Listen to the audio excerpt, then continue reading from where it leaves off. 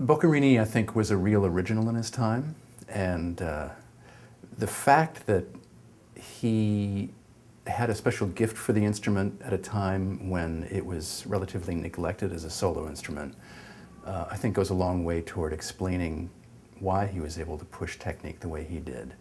Um, he also is a very prolific composer, and being a prolific composer, he wrote prolifically for himself. So he wrote uh, a lot of music, and most of it was written to showcase his own talents.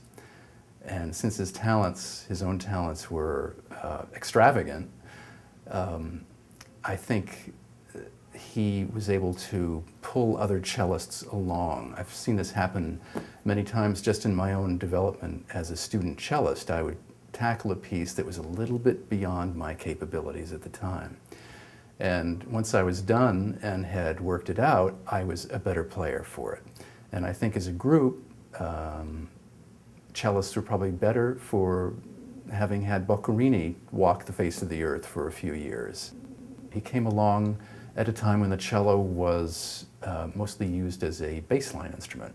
And here was someone who was impatient with that. He had a, a tremendously advanced um, ability to play the instrument, and he wanted it to be a solo instrument. And the music he wrote uh, reflected that. He re it reflected his uh, impatience with its limitations, but it also incorporates his understanding of what it does best.